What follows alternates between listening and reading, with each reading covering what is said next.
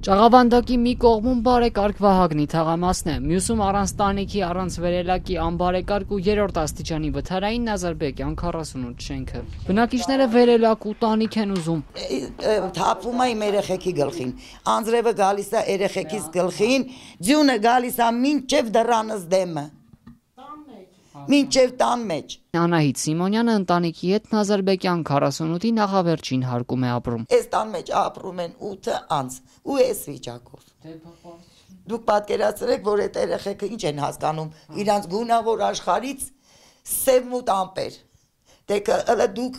երիտասարդ եք, պատկերացրեք, այն երեխեքը դաժե կարմիրն ու կանաչը, եթե սրանք փռած չլինի ճենջոգի, Սիմոնյանը հուզվում է, ասում է, թորներն արդեն հիվանդություններ ունեն։ Թորներս Վալոդիկս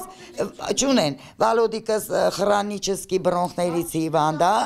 աղջիկն էլ հմիկվանից արդեն մեզուղիները, պոչկաները ոչ մի բանի պիտանի չի։ Առանց տանիքի շենքի պատմությունն այսպիսին է։ Խորթային միության փլուզումից հետո շինարարությունը կիսատ է մնացել եւ այդպես էլ չի շարունակվել։ Բազմաթիվ քաղաքացիներ իմանալով, որ դատարկ կիսակառույց է եկել ու բնակություն են հաստատել։ Այսպես է շենքում հայտնվել ամենահին բնակիչը Գոհարի Կոստանյանը, Գոհարիկի բարեկամներից մեկն իրեն բնակարան է հատկացրել շենքում, բայց նա տնավորվել է այլ բնակարանում։ Հետո ուրիշներն են եկել։ Տարիների ընթացքում բնակիչները սեփականաշնորել են բնակարանները, սակայն պետությունը նրանց արչև մեկ պայման է դրել՝ ստանձնել շենքի կիսատ թողած շինարարական աշխատանքների կատարումը։ Տիկին Գոհարիկը խոսելով պետության առաջ քաշած այդ պայմանի մասին ասում է. Հա, մենք շենքը պետք է սարքենք, մենք բան ենք, էլի եկել ենք, հա, մենք կազմակերպություն ենք, եկել ենք շենքը սարքելու, հա։ Բոլորը բանից սոցիալ նախարարի բանը ունեմ, որ սոցիալապես անապահով մարդիկ են ու բոլորը փարոսակիր։ Այս շենքի հարցերով տարիներ շարունակ զբաղվող Կոստանյանի խոսքով իրենց ասել են,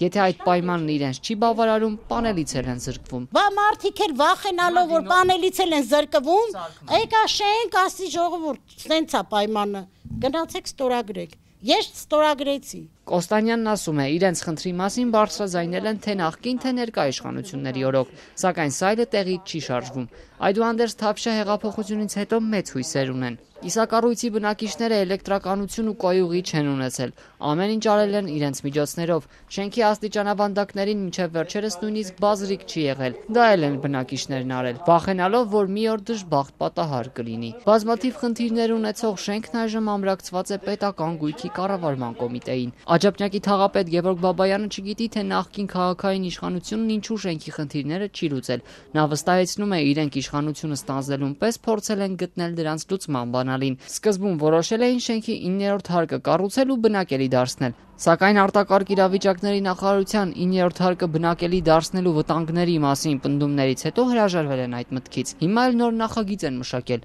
9-րդ հարկն ամբողջությամբ կապամոնտաժվի ու տանիք կկառուցվի։ Թաղապետը ժամկետների մասին էլ է խոսում։ Եթե եղանակային պայմանները թույլ տան, գուցե եւ այս տարի կարողանանք կատարել այդ աշխատանքները, եթե ոչ 2020 թվականի ընթացքում